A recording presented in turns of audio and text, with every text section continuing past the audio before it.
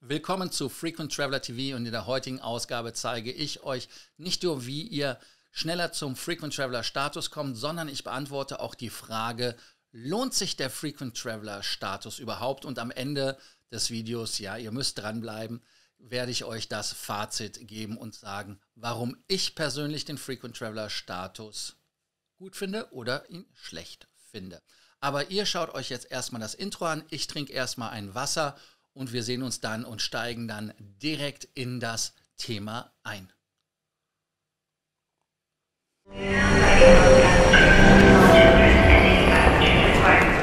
Ja, das Jahr hat gerade angefangen und nach dem Status ist vor dem Status, denn viele haben jetzt erst realisiert, dass durch das letzte Jahr einige Statusträume geplatzt sind.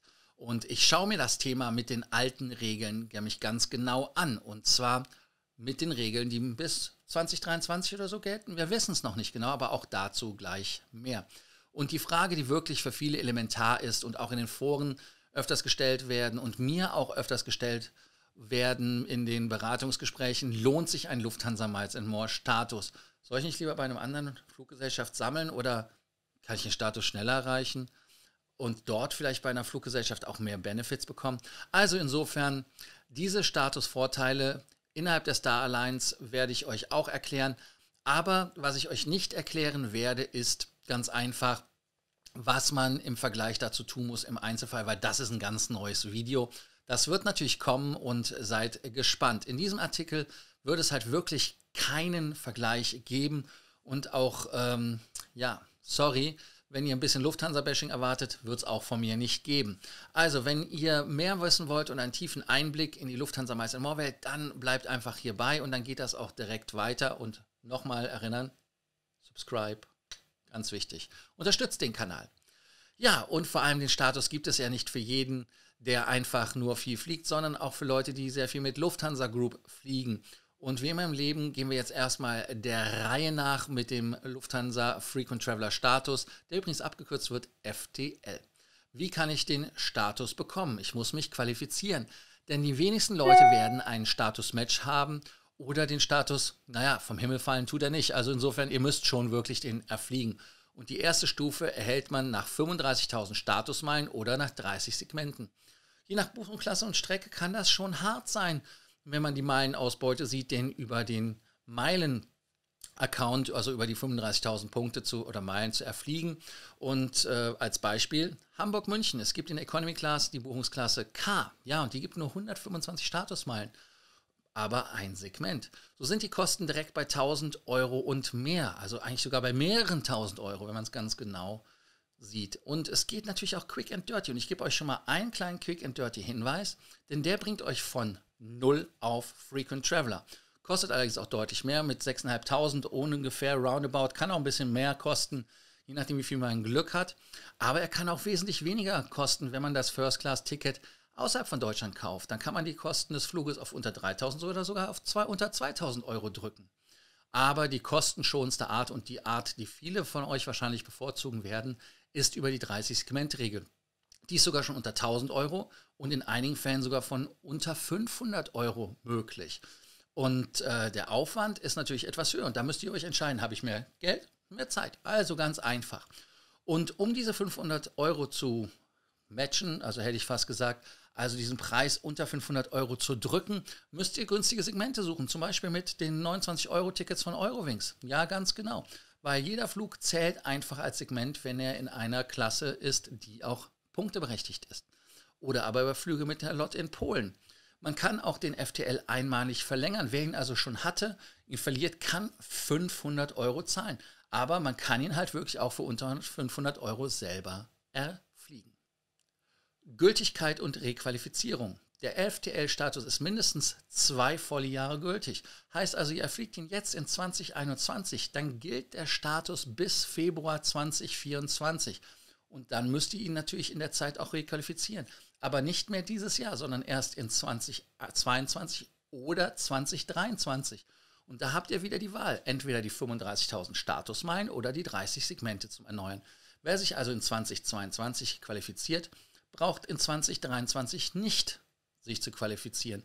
Oder wer sich in 2022 nicht qualifiziert hat, kann sich noch in 2023 qualifizieren Und wenn man sich in einem von beiden Jahren qualifiziert hat, dann zählt das andere Jahr nicht und das nennt man dann das sogenannte tote Jahr. Gibt für alles bei Vielfliegern natürlich einen Begriff. Und wer in den beiden Jahren in 2022 und 2023 die 35.000 Meilen oder jeweils die 30 Segmente knackt, hat wirklich keinen Vorteil außer mehr Segmente und mehr Punkte. Aber es bringt euch nicht mit der Requalifizierung in irgendeiner Art und Weise weiter. Ganz wichtig ist, wer den Status hat, der kann mit dem Executive Bonus, und ich gehe gleich darauf ein, was es ist, diesen wesentlich schneller bekommen mit 25% Zuschlag, wenn er über das Statusmeilen geht. Aber Executive Bonus zählt nicht für Segmente. Qualifikation, Requalifikation über Segmente. Die Qualifikation über die Segmente ist eigentlich eine Promotion, welche jederzeit beendet werden kann. Diese Silber-Promotion ist aber mittlerweile ein Kriterium der Qualifikation und Requalifikation des Frequent Traveler Status und somit wird diese ja, uns bis zur Änderung der Regeln wohl begleiten. Wichtig ist auch, dass nur die Segmente auf den Flügen von folgenden Fluggesellschaften zählen. Ja, ganz genau. Air Dolomiti, Austrian Airlines, Brussels Airlines, Croatia Airlines, Eurowings, Lot Polish Airlines, Luxair, Lufthansa, Lufthansa Private Jet zählt auch. Also wer Private Jet fliegt, kann da auch den FTL erfliegen. Und die Swiss logischerweise. Aber Ausnahmen gibt es natürlich auch. Fahrten mit Lufthansa Express Rail, Lufthansa Express Bus und dem Flugzug, der in der Schweiz fährt, der wird nicht angerechnet. Da noch einen kleinen Schluck Wasser. Es wird doch richtig lang der Text. Strecken mit Lufthansa Flugnummer, auf denen ein Bus eingesetzt wird, gelten auch nicht. Und es gelten natürlich nur Buchungsklassen, welche zum Meilensammeln berechtigt sind. Wer die Qualifikation nicht schafft, hat nach Ablauf des Status dann 36 Monate Zeit, die gesammelten Meilen, was dann Prämienmeilen sind, vor dem Verfall zu bewahren, indem man sie benutzt.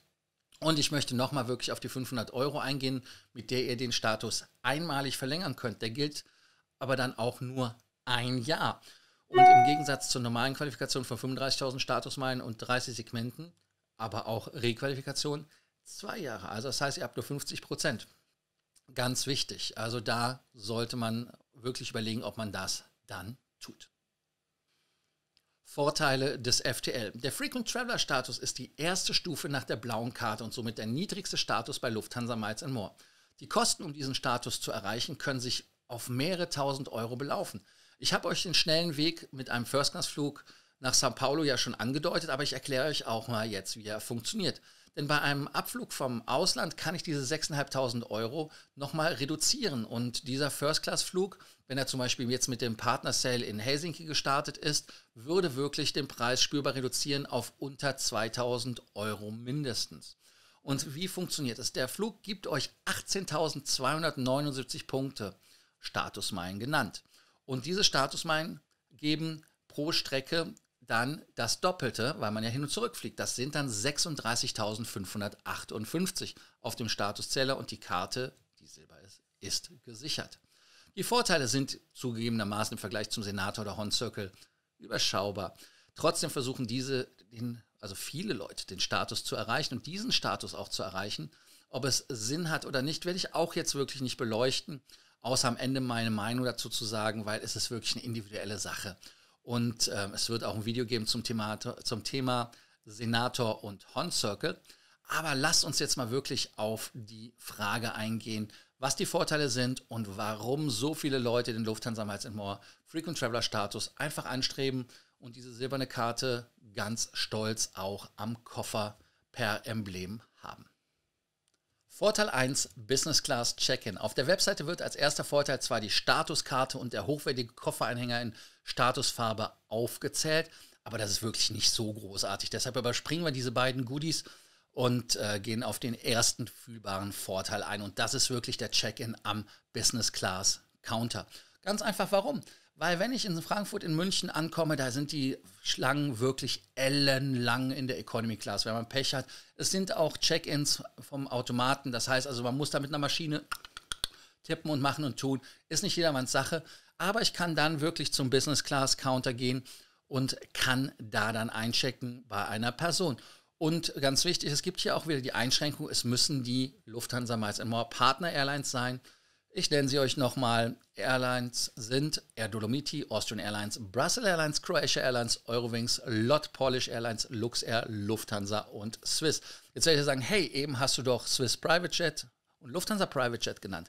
Ja, ganz einfach, die Lufthansa Private Jet nenne ich ganz einfach nicht, weil da werdet ihr am Counter nicht einchecken. Da geht ihr ins GATT, da geht ihr ins General Aviation Terminal. Also insofern die bei dieser Aufzählung jetzt erstmal nicht.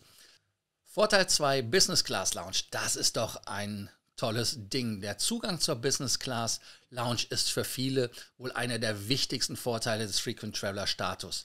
Es ist auch wie so ein Magnet, so ich will da rein, ich will da rein. Und ähm, ja, der Lounge-Zugang ist auch etwas ganz Tolles, weil man da in dem Bereich natürlich äh, die bequemen Sessel hat, man hat Internet und so weiter. Aber es gelten hier auch wieder beschränkte, bekannte Einschränkungen.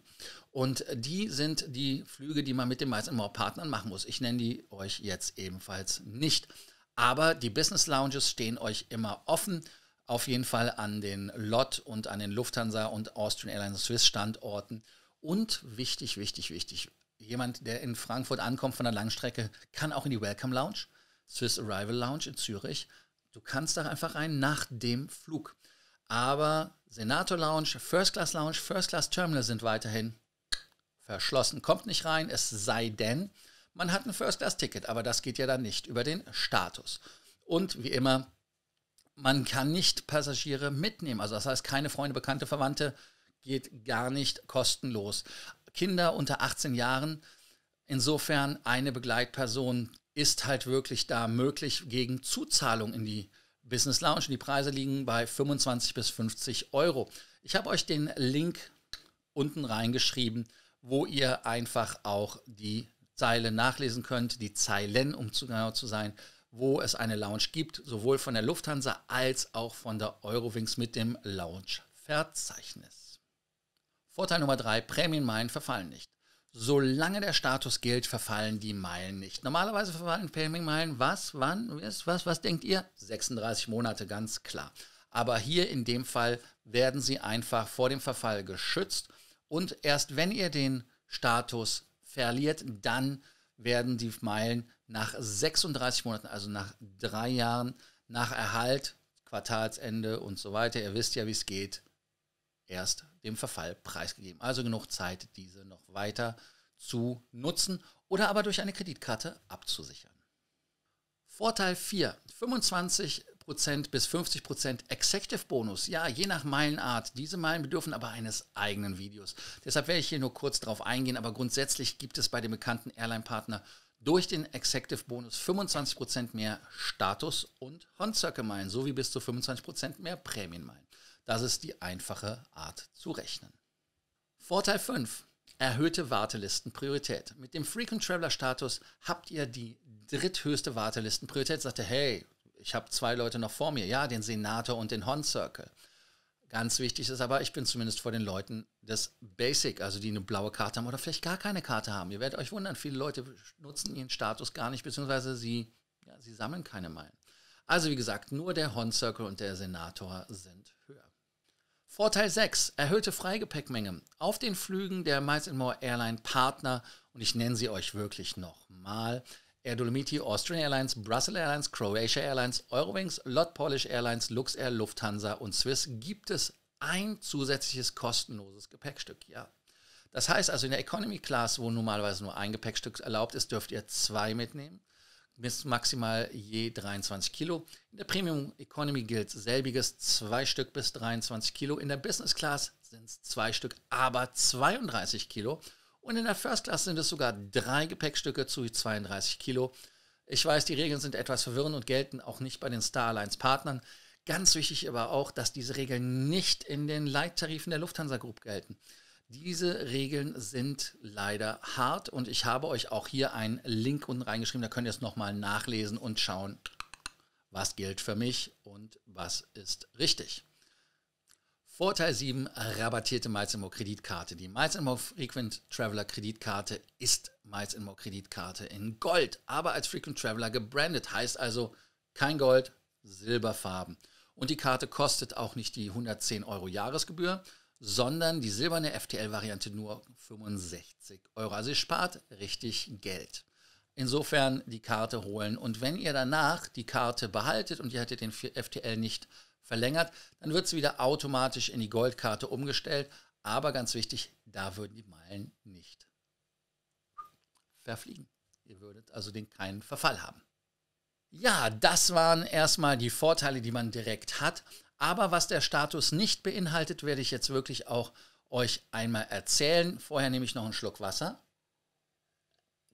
Denn einige Vorteile, die man von der Karte erwartet, die gibt es nicht. Also das heißt, es gibt da Sachen, die man wirklich denkt, hey, das muss doch da sein, aber nein, sie sind einfach nicht da. Und ähm, diese Einschränkungen des Frequent Traveler Status, da habe ich euch mal ein paar zusammengestellt. Da sind alle, die mir eingefallen sind. Die Lufthansa Miles More Frequent Traveler Karte hat zwar das Starline Silver Logo auf der Karte, aber man kommt wirklich nur in die Business Class Lounge der direkten Lufthansa Partner Fluggesellschaften. Und äh, ich werde sie jetzt nicht nochmal erwähnen, ihr könnt sie unten nachlesen. Genau wie die Lufthansa Senator Lounge, First Class Lounge und das First Class Terminal sind tabu. Ihr könnt aber rein, wenn ihr ein First Class Ticket in der Hand, in der Hand hält. Genau, wenn ihr eins in der Hand, Hände habt, dann dürft ihr damit rein. Und natürlich ganz wichtig ist auch, und das hatte ich eben schon mal gesagt, keine Gäste kostenlos. Gegen Gebühr ist das jedoch möglich. Und ich hatte euch das ja gesagt, 25 bis 50 Euro. Und noch was ganz, ganz Wichtiges. Wer den Basistarif, den Basic-Tarif der Eurowings hat, da hat man keinen Zugang zur Lounge mit der Lufthansa FTL-Karte. Es muss mindestens der teure Smart-Tarif gebucht werden. Und das Segment im Basic-Tarif zählt aber jedoch zur Statusqualifikation, also ganz wichtig, aber auch zur Requalifikation. Und was auch ein Thema ist, ist kein Priority Boarding. Wer FTL ist, hat trotz dem FTL keine Möglichkeit, Priority Boarding zu machen. Also das heißt also, man kommt in seiner Boarding-Gruppe je nach Sitzplatz rein und ja, man kann einen Business Counter einchecken, aber es gibt einem ansonsten keine Priority. Und eine der wichtigsten Einschränkungen ist wirklich bei der Lufthansa Group mit den Leittarifen, dass man nur mit Handgepäck fliegen darf. Auch unabhängig vom Status fallen immer Gepäckgebühren an. Ja, hey, es gilt für den FTL, es gilt aber auch für den Son Zen und Hon. Das heißt also, dass ihr da nicht ähm, jetzt anfangen zu weinen. Oh, nein, es geht auch für die anderen. Also die goldene und schwarze Karte dürfen auch kein zusätzliches Freigepäck mitnehmen, wenn es ein Leittarif gibt. Wenn ihr den Kanal noch nicht abonniert habt oder mir ein Like dagelassen habt, dann denkt doch jetzt einfach mal drüber nach, ob ihr das tut. Damit unterstützt ihr mich und meine Arbeit und ich wäre euch wirklich dankbar. Genauso wie ihr hier unten immer wieder Kommentare reinschreiben könnt und ich mich gerne zu diesen Kommentaren dann auch immer wieder äußere und euch da auch Hilfestellung gebe. Jetzt geht es direkt weiter zum Lufthansa Miles and More Frequent Traveler Status, den man mit 35.000 Meilen erfliegen kann. Ja, die Statusmeilen kann man wirklich nehmen und kann damit den Status relativ schnell erfliegen, aber es ist auch wesentlich teurer, zum Beispiel mit dem Flug nach Sao Paulo in der First Class. Und ich hatte das ja schon erwähnt. Es geht allerdings auch mit Business Class Flügen innerhalb Europas in den teuren Buchungsklassen. Da gibt es zum Beispiel direkt 2000 Punkte, wenn ihr grenzüberschreitend fliegt. Und man kann die Flüge ja auch verdoppeln, indem man nicht zum Beispiel Hamburg-Wien direkt fliegt. Mit der Eurowings geht es. Sondern man fliegt Hamburg-Zürich oder über Warschau nach Wien. Damit habt ihr aus zwei Segmenten vier Segmente gemacht. Und da es segmentweise die Punkte gibt, wären das bei den vier Segmenten 8000 Punkte. Die Flüge kosten natürlich dementsprechend etwas mehr, aber so habt ihr das dann halt relativ zeitoptimiert hinbekommen. Wenn man jetzt die 8000 Punkte und man hat den Status nicht zum, zugrunde liegen, dann hätte man den Status nach gerechnerisch 4,375 Flügen im Sack. Das ist aber eine der teuren Varianten. Bei weltweiten Flügen richten sich die Statusmeilengutschriften nach der Entfernung. Ja, und der Buchungsklasse. Denn die werden mit der Buchungsklasse multipliziert. 25% in der günstigsten Economy-Klasse, 300% in der First Class. Ja, so sieht das aus. Diese 300% in der First Class, das ist echt der Knaller. Lufthansa Miles More Status mit 30 Segmenten erfliegen. Wer besonders viel mit Billing Tickets unterwegs ist, wird natürlich den Lufthansa Miles More Status eher nicht mit den Statusmeilen erfliegen. Und vor allem, wenn du überlegst, du kriegst ja für die Buchungsklasse K, und das hatte ich ja, glaube ich, schon mal gesagt, 125 Meilen nur pro Strecke. Das wären 280 Segmente, die man fliegen müsste, um die 35.000 Meilen hinzubekommen. Das macht aber keinen Sinn, vor allem, weil ich ja schon nach 30 Segmenten den FTL habe. Und das ist doch eine unheimliche Erleichterung. 250 Flüge kann ich mir sparen mit den negativen Meilenausbeute, also magere. Negativ ist ja nicht, aber sie ist halt mager. Und schneller geht es zum Beispiel, wenn man Hamburg-München nicht direkt fliegt, sondern Frankfurt in der Mitte einbaut. Also dann fliegt man zum Beispiel Hamburg, Frankfurt, München, München, Frankfurt, Hamburg. kann auch mit dem Ausleihen kombinieren, aber dann werden die Tickets meistens teurer, macht aber keinen Sinn, weil die Segmente sind unabhängig von der Gutschrift, die ich bei den Statusmeilen bekomme. Ganz wichtig ist halt wirklich, dass es ein meilenfähiges Ticket ist, also Prämientickets zählen nicht. Und damit hat man den FTL mit acht Reisen in der Tasche. Sogar ein bisschen Overshot, ne? 32, habt ihr zwei mehr, als ihr bräuchtet. Günstige Segmente gibt es aber auch mit Eurowings im Sale oder eine günstige Möglichkeit sind auch die Flüge mit der LOT. Warum? Ganz einfach, weil LOT innerhalb von Polen für sehr, sehr wenig Geld fliegt oder die Eurowings für 29 Euro. Also insofern schaut da einfach nach. Wichtig ist zu beachten, wenn ihr Flüge mit Lufthansa-Partnergesellschaften macht. Sie müssen wirklich meilenberechtigt sein. Aber es gelten, wie ich schon sagte, nicht alles, was da fliegt, in Anführungsstrichen, weil der Flug zum Zug und diese ganzen Expressbus-Geschichten, Bahn und so weiter, zählt nicht, weil es ja nicht auf Lufthansa. Wichtig ist allerdings auch jetzt zu beachten in Corona-Zeiten und deshalb gebe ich euch ein Corona-Status-Update. Normalerweise ist der Zugang zur Senator Lounge als Frequent Traveler tabu. Ihr wisst, wenn ihr ein Ticket hättet in der First Class, geht nicht in die Senator Lounge, sondern geht in die First Class Lounge. Das ist viel besser. Also, aber diesmal darf man wirklich, weil die Lufthansa euch wertschätzt, in die Senator Lounge gehen. Und äh, wessen Status jetzt im Februar verfallen würde, wird es festgestellt haben auf seinem Konto, der Status wurde am Jahr verlängert. Wer in 2022 da eine, ja, eine Entwertung seines Status befürchtet, Lufthansa hat gesagt, es wird kulante Lösungen geben. Und was auch ganz wichtig ist, Änderung der Qualifizierung ist wirklich vorerst verschoben. Deshalb gehe ich hier wirklich auch nur in die, ja, nennen wir es einfach mal alten Regeln, altbekannt und so weiter. Aber die neuen Regeln 2023 irgendwann. Ich werde euch jetzt nicht äh, das vorlesen, was Lufthansa Malzermau geschrieben hat weil äh, herausfordernde Situation und bla und erst äh, dann in Kraft treten, jetzt später. Und äh, im Moment haben die halt die alten Regeln und da gibt es dann nichts dran zu rütteln und deshalb beachtet einfach das, was ich euch gesagt habe. Fazit. Und jetzt schließt sich wirklich der Kreis mit der abschließenden Frage, lohnt sich der Lufthansa Miles and More Frequent Traveler Status? Wer den Frequent Traveler Status als Sprungbrett zum Senator oder sogar zum Horn Circle nutzen will, da, kommt man ja auch nicht dran vorbei. Also wie gesagt, deshalb mache ich es auch und ich finde ihn auch toll und ähm, ich finde ihn gut. Also insofern ähm, muss das aber dann wirklich jeder selber entscheiden, ob er die Flüge extra absolvieren möchte, um den Status zu bekommen, weil jeder gewichtet das anders und der Loungezugang für den FTL ist schon toll, wenn man die Lounges sieht. Also insofern denkt drüber nach, schreibt auch unten einfach in den Show Notes, unten drunter in die Kommentarspalte, was ihr so denkt. Ja, ansonsten, einige Leute sagen ja auch, hey, den FTL, wenn ich ein bisschen mehr fliege, kann ich auch die Goldkarte bei einem Starlines-Partner mir besorgen. Hier gilt wieder mein Hinweis. Ich gehe jetzt einfach nicht drauf ein, dafür wird es ein separates Video geben. Und äh, natürlich von Sven, äh, der mit mir an dem Text gearbeitet hat. Nochmals danke dafür. Er hat ja auch nochmal gesagt, nicht nur der Priority Pass, sondern auch der Dragon Pass gibt einem Lounge-Zugang. Wem es um den Lounge-Zugang geht, kann dies als Gedankenstütze mal für sich irgendwo abheften. Ich danke euch, dass ihr wieder dabei wart bei Frequent Traveler TV und äh, zugeschaut habt. Ich hoffe einfach, dass ihr an dem Video viel Freude hattet. Eure Fragen beantwortet sind, sollten sie nicht beantwortet sein. Ich kann wirklich immer nur auf Kommentarspalte verweisen und auf den Abonnieren. Deshalb gebe ich euch hier jetzt nochmal den Abonnierbefehl und bei Sorgen, Ängsten Nöten Kommentarspalte. Danke, dass ihr heute dabei wart bei der Ausgabe Lohnt sich der Frequent Traveler Status von Lufthansa More?